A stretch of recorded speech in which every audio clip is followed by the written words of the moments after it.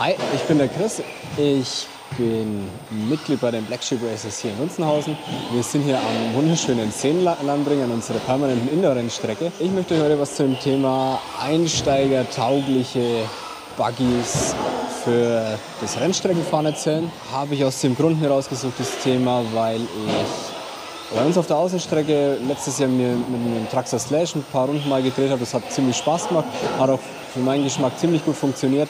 Und dann habe ich mir gedacht, das könnte vielleicht auch mit dem Buggy-Bruder des Slash gut funktionieren und wäre dann auch für Neulinge und Einsteiger ein preiswerter Einstieg, weil so ein aktuelles Wettbewerbschassis mit der ganzen Elektronik, die man noch dazu kaufen muss, den Reifen, der Karosserie und was alles, halt doch ziemlich teuer ist. Ähm, ja, einsteigertaugliche Chassis haben wir jetzt zwei hier stehen. Das ist einmal von Tamiya hier der DT03 vom Vereinskollegen, den ich hier mal kurz zeigen möchte. Also es ist ein klassischer Tamiya-Baukasten mit Heckmotor. Ähm, der ist jetzt mit einem Brushless-System ausgestattet. Äh, der Baukasten ist sehr günstig, also den bekommt man für unter 100 Euro, soweit ich weiß. Braucht, äh, der hier ist jetzt mit einer Carbondämpferbrücke vorne und hinten ausgestattet, weil die Originalkunststoff doch mal leichter brechen. Das andere Chassis, was mein, äh, das zentrale Thema hier in dieser Videoserie werden soll, ist hier jetzt der Traxxas Bandit. Den habe ich für 170 Euro RTR gekauft. Das heißt, so wie hier aus der Box kommt, 170 Euro. Hm, habe dann noch einen Adapter hier von dem Traxxas-Stecker auf EC5 äh, für meinen Stickpack äh, den ich auch in den Bläschern verwende, äh, eingebaut. Und der ist auch ein Heckmotor-Chassis. Das Layout ist schon ziemlich alt. Ähm, in den USA gibt es ein paar, die fahren den hier auf Lehmstrecken, auf den geklebten. Das funktioniert tatsächlich besser als erwartet. Wir haben jetzt hier auch schon ein paar Runden damit gedreht. Das hat auch sehr gut funktioniert. Also für die Serienausstattung, das Einzige ist das Längsauber ist ein bisschen langsam, aber da habe ich dann schon was vorbereitet, um das mal zu optimieren. Das dritte einsteigerfreundliche Chassis ist jetzt eigentlich kein einsteigerfreundliches Chassis, das ist ein voll, äh, volles Wettbewerbschassis. Das ist hier ein Yokomo Cal 3.1, der ähm, von der Motorisierung her aufgebaut ist wie die LRP Challenge, das vorschreibt mit einem 21,5 Turn Brushless Motor, dem LRP Spin Regler. Und äh, hier ist jetzt noch ein Absima Servo verbaut. Es fehlen die Reifen, um wirklich für das Rennen fahren zu dürfen, aber darum soll es jetzt hier nicht gehen. Und äh, zu guter Letzt, also auch preislich das teuerste, ist dann hier jetzt mein aktueller Wettbewerbsbuggy. Das ist auch ein Yokomo Cal 3.1. Ähm, der ist ein bisschen mehr dran jetzt schon gemacht. Wie vergleicht man jetzt diese drei oder diese zwei Autos vor allem. Ich habe mir gedacht, wir fahren einfach eine Referenzzeit mit dem. Die Referenzzeit, die ich jetzt heute Abend hier gefahren bin, war jetzt eine 22,8. Ich werde euch mal ein paar Runden zeigen, wie das Auto hier standardmäßig fährt vom Donnerstag. Da war es dann eine 23,0. Das ist alles ganz okay. Der Hauptknackpunkt ist definitiv hier die Lenkung, die zu langsam ist. Und das wird jetzt auch das erste Tuning-Teil sein. Zum Thema Tuning geht es gleich weiter. Und dann ja, sehen wir uns gleich.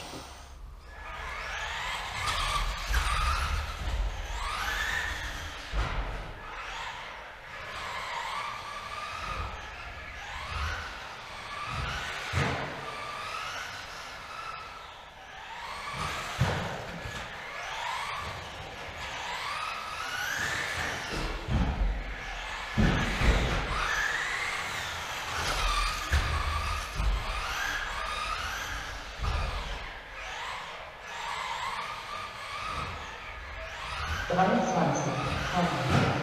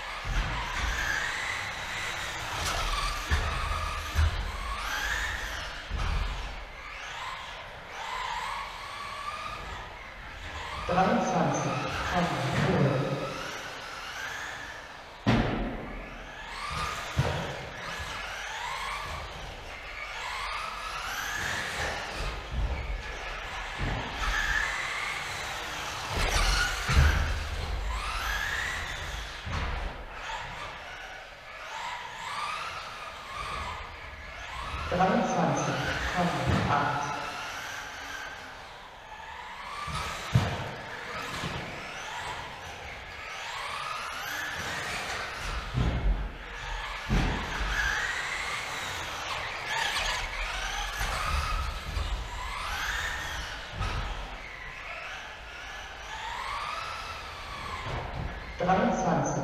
Komm, also.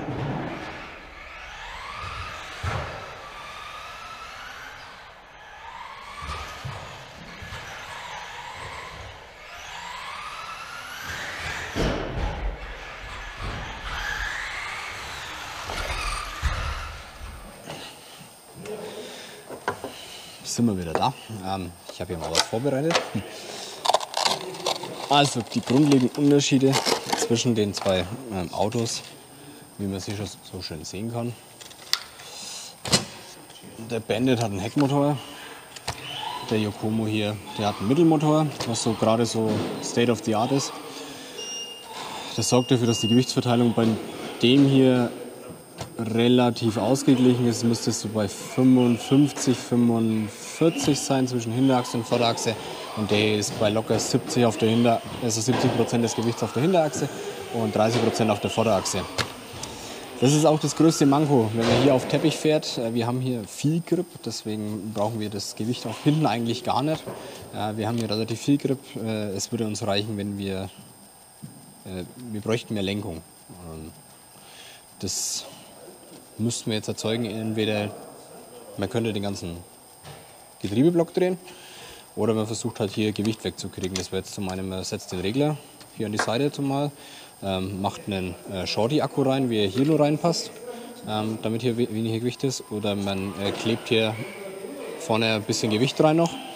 Oder ja, was einem sonst noch einfällt. Also man muss halt, ähm, das die wichtigste Aufgabe meiner Meinung nach wird hier sein, dass man das ähm, Gewicht nach vorne, also mehr Gewicht auf die Vorderachse bringt und dann natürlich äh, vernünftige Reifen auf die Vorderachse. Also wir haben jetzt hier, äh, habe ich mir jetzt zwei Reifen zum Versuchen rausgesucht. Das sind einmal die Schumacher, die Fusion Slim vom 2WD Buggy, beziehungsweise auch die Cutstacker hier. Die sind zwar schon abgefahren, aber das äh, funktioniert trotzdem hier noch ganz gut auf unserem äh, mittelgriffigen Teppich. Oder dann eben auch, weil sie schwerer sind, hier die ähm, 4WD, also für die Allrad-Buggies, die äh, Schumacher Fusion, Cactus Fusion, Cactus Fusion, Fusion, äh, wie auch immer. Also die 4WD Vorderreifen äh, habe ich hier auf eine, extra auf eine Felge passend für den äh, 2WD draufgeklebt und die werden wir jetzt hier mal dann auch noch testen. Ähm, das wichtigste Update liegt hier. Ein aus meiner Restekiste, ein äh, DS1015 Servo. Äh, lediglich darum, dass das Servo, es muss einfach schneller werden, weil das Standard-Servo ja, das ist eine Krankheit. Ähm, das ist einfach viel zu langsam. Ich hole mal einen Akku und stecke den an. Kurzer Speed-Vergleich von den Lenkservos. Also das kommt hier Standard, zwei Traxxas im Baukasten. Und das ist hier verbaut.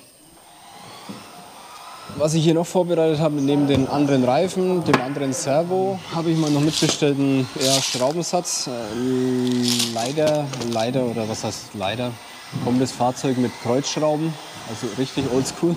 Ich habe noch mitbestellt einen Satz Kugellager, weil der Buggy ist entgegen ähm, meiner ersten Erwartung ist er mit Gleitlagern ausgestattet. Das ist ein Aluminium- oder Bronze-Gleitlager hier verbaut. Äh, sie funktionieren relativ gut, also es macht jetzt nicht den Riesenunterschied. Äh, auf Ersatz habe ich dann nochmal die äh, Lenkungshebel und die äh, Nachlaufblöcke bestellt. Das sind aber nur Ersatzteile, die haben jetzt keine Tuning-Wirkung. Ich habe dann noch extra, weil der Buggy auch nicht mit äh, Sechskantmitnehmern ausgestattet ist, habe ich extra noch äh, Mitnehmer bestellt. Das sind, einmal habe ich in Kunststoff bestellt, dann auch noch mal in Stahl und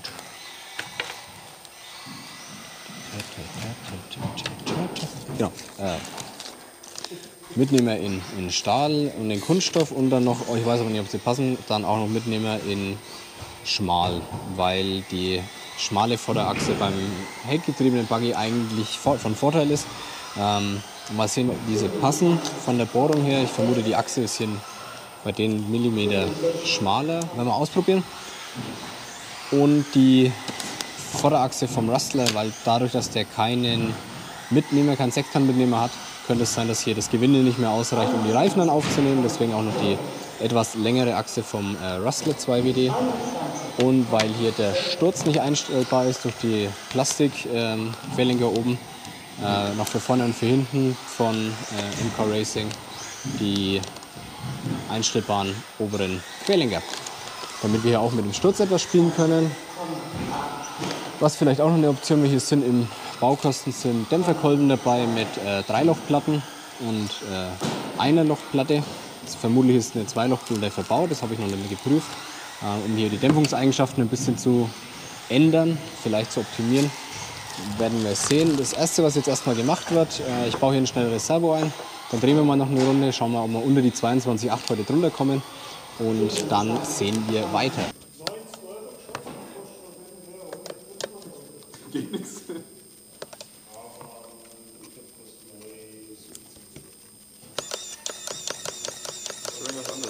Ja, das müsste jetzt bloß mal rückwärts gehen, ne? Ja, wir müssen jetzt rücksetzen. Mal das jetzt rechts. Ja. Ja. Mit dem sind wir nicht. Aber ich habe da mal was vorbereitet.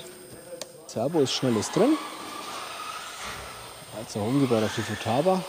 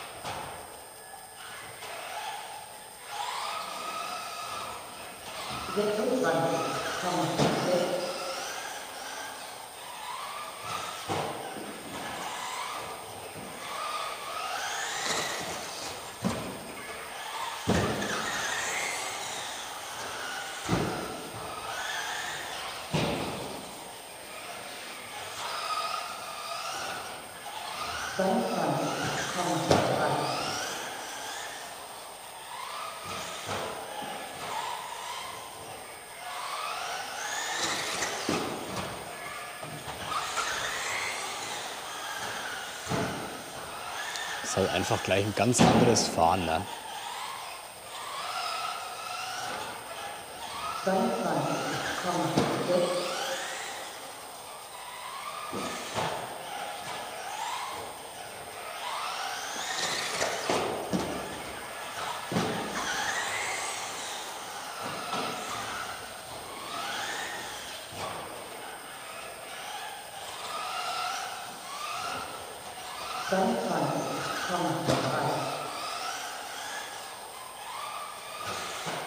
Witzigerweise hat es jetzt erst eine halbe Sekunde gebraucht.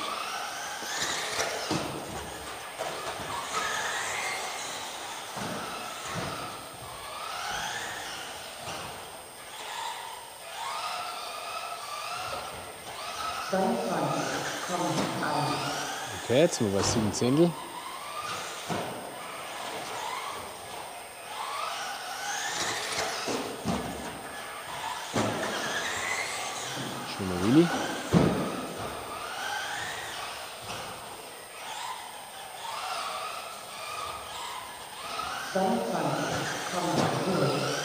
Achtzehntel.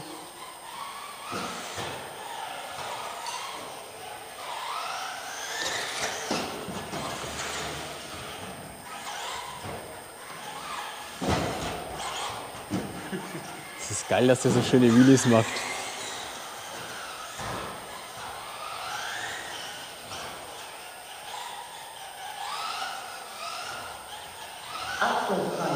Tamam.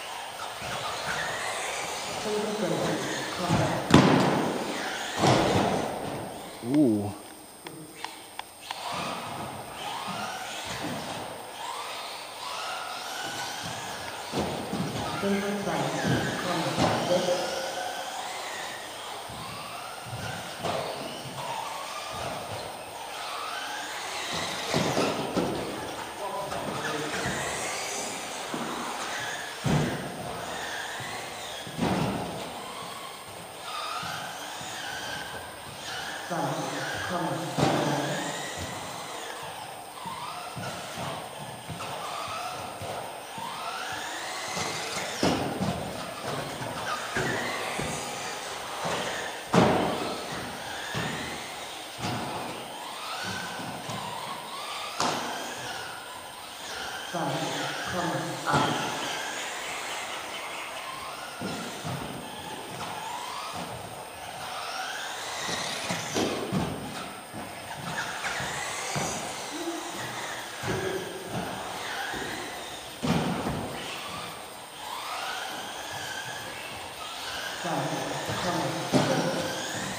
Okay, dann lassen wir es stehen.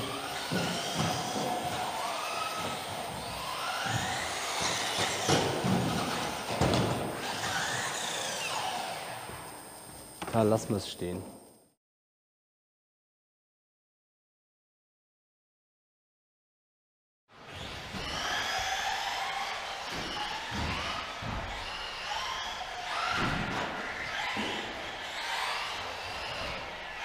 Okay,